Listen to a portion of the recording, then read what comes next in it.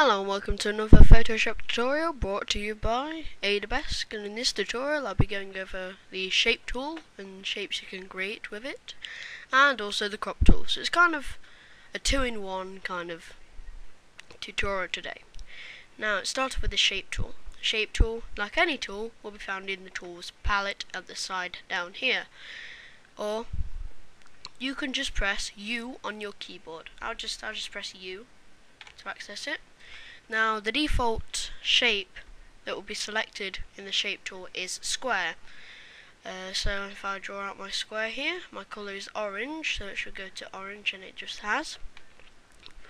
Uh, it's just like a normal, if you import a photo, um, you can use the transformation tools, widen, you can rotate it around and move it wherever you want on your image.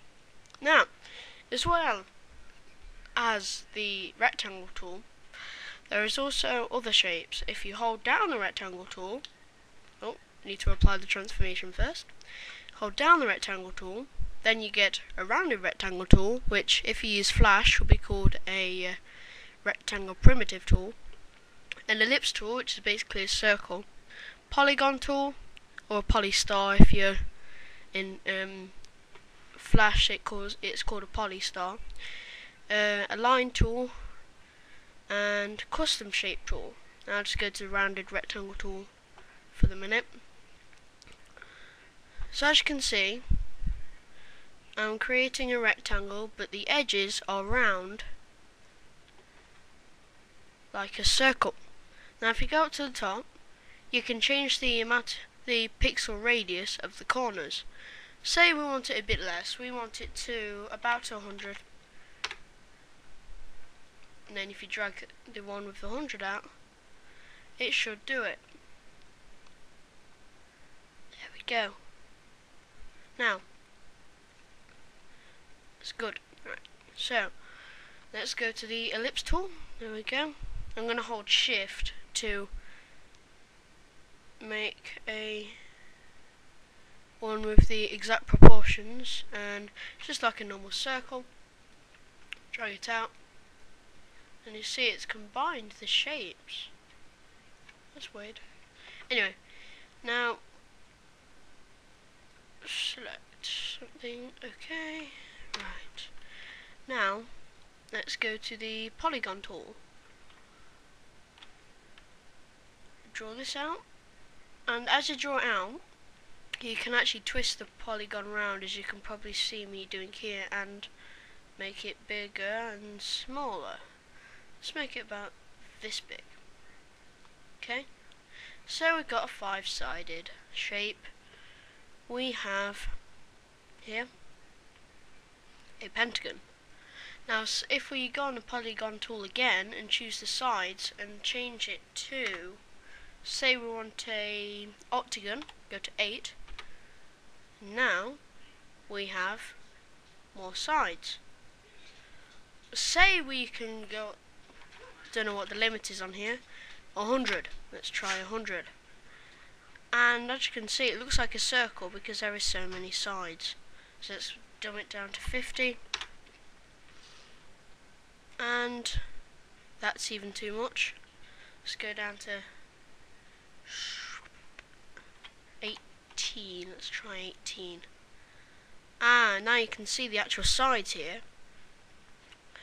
If I do even less, let's go down to 12. You can see the sides more now. okay. Now we also have the line tool, which as you can guess, is a line. Um, I'm going to change the style. No, not the style keep that there. Right.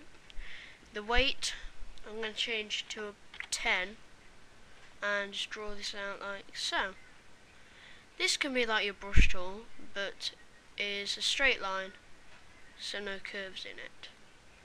I'm just going to make a new image because it's a bit crowded. It's a bit crowded up here. New image, default Photoshop size. Right. And now the last one is custom shape tool. Now, if I draw a, a arrow because that's set here you can change this. Well we have arrows. Some sort looks like a frame. Yeah banner sorry. Frame notes, lightning flower grass light bulb thumbtack envelope and so on and so forth That's scout badge isn't it looks like a scout badge anyway I'm going to try the I'm going the trademark sign. Just drag that out like so. Or I could put in a light bulb. That looks nice. Okay, so you got these custom shapes. What I thought it was going to be, because I've never actually tried it before, was you drew your own shape. But obviously not. Okay, so you got got lots to play with here. And that's for the shape tool. Now, over to the crop tool. Let me just open an image. Let's find an image, a good image to crop.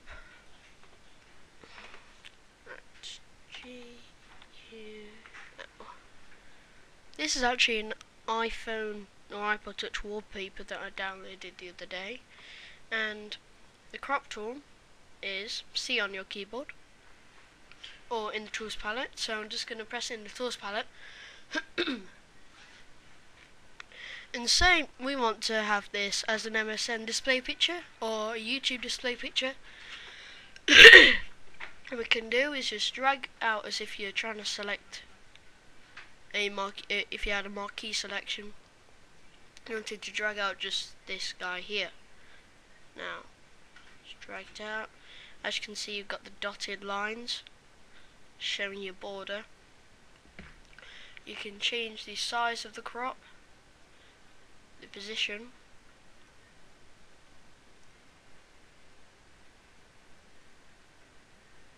say we just want his eyes here. Okay, as soon as you've got your right shape and size, just go to the tick here to crop the image and now we only have this part. Say I wanted to do it to a set amount of um, dimensions. Say I want to crop about 20 pixels by oh 20 pixels by 15 pixels.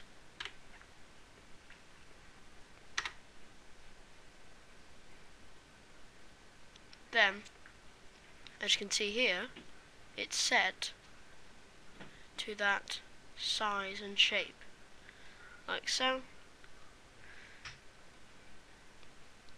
We can not change just one area. You can even rotate this. So say I wanted that then it will rotate back.